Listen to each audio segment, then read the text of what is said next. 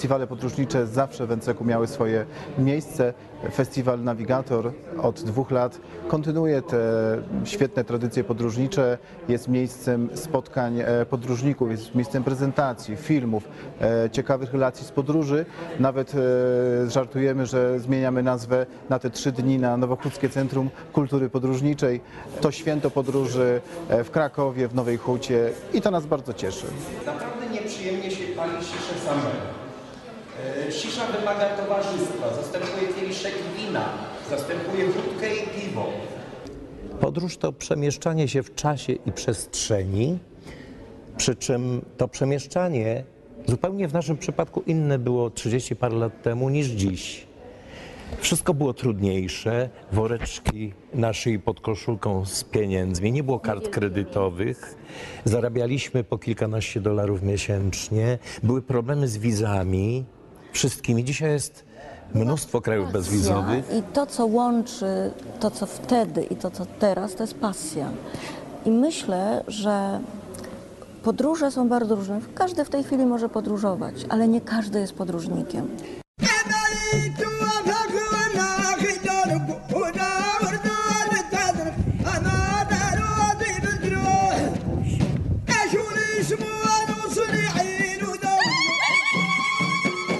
Zwierzę bywa pamiętliwe, to znaczy jeśli wielbłądnik, jego Źle właściciel go potraktuje. skrzywdził, uderzył, potrafi odwzajemnić to nawet po wielu latach. No i mam nadzieję, że te były dobrze traktowane i też dobrze Jak potraktują myślisz, nas. który jest ładny, silny, młody? Dla mnie całe życie jest podróżą, a podróż życiem. W związku z tym trudno rozdzielić te dwie rzeczywistości.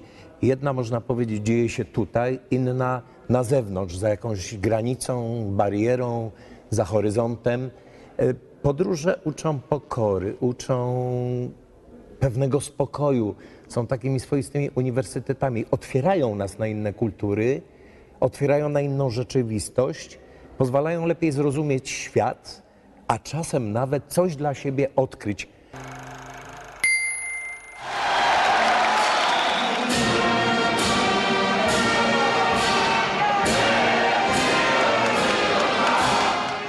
Przez kilkadziesiąt lat, bo to trzeba y, sięgnąć do lat 60. pamięcią, czyli bardzo odległych, a skończywszy na końcu lat 80., początku lat 90., Hutnik Kraków był jedną z najlepszych polskich drużyn w siatkówce. Po raz pierwszy mistrzostwo zdobył w 1988 roku i zaowocowało to y, pierwszym startem w Pucharze Europy.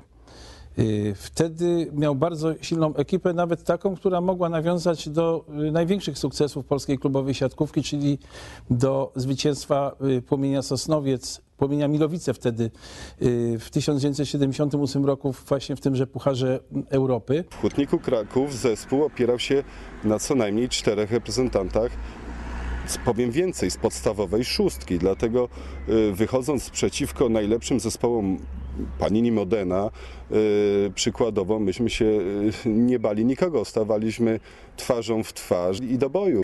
Włosi nie wiedzieli, co się z nimi dzieje. Nie wierzyli w to długo jeszcze po meczu, że przegrali ten mecz. Kibice wiwatowali, bo był to niebywały sukces.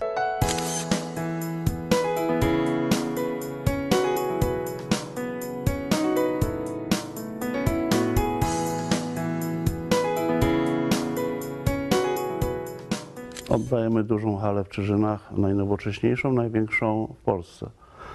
I już w tym roku będziemy gościć reprezentację Polski i na memoriale Wagnera, i na Lidze Światowej mecze Polska-Brazylia. No i oczywiście będziemy mieć Mistrzostwa Świata, więc myślę, że kibice siatkówki w tym roku będą usatysfakcjonowani. Jeżeli będzie tak wspaniała hala, na której będą rozgrywane e, wspaniałe mecze Ligi Światowej, już teraz mogę powiedzieć, że w 2016 finał Ligi Światowej będzie rozgrywany na tej hali.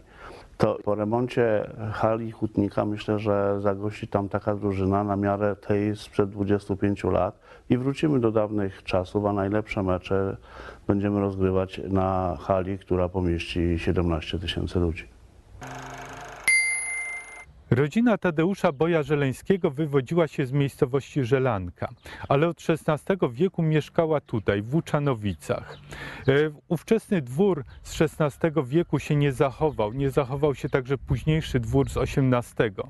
Ten, który widać za mną, pochodzi dopiero z początku XX wieku, ale pewna jego część to dawna kaplica, kaplica protestancka z XVI wieku, jedyna tego typu zachowana na terenie Krakowa.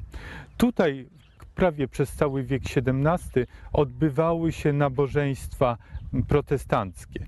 Pierwotnie przypuszczano, że właściciele Łuczanowic byli Arianami, ale w rzeczywistości byli Kalwinami. Tutaj też w tej kaplicy doszło do bardzo ważnego synodu protestanckiego, gdzie różne skrzydła tego wyznania pogodziły się i zawarły sojusz. W roku 1692 nabożeństwa tu zostały kategorycznie zakazane, choć być może odbywały się potajemnie. Ów kopiec, który widzimy w tle, to największy w okolicach Krakowa grobowiec rodzinny. Należy on właśnie do rodziny Żeleńskich i zawiera trumny, z tego co pamiętam około 11 trumien, które pierwotnie znajdowały się pod kaplicą w Łuczanowicach.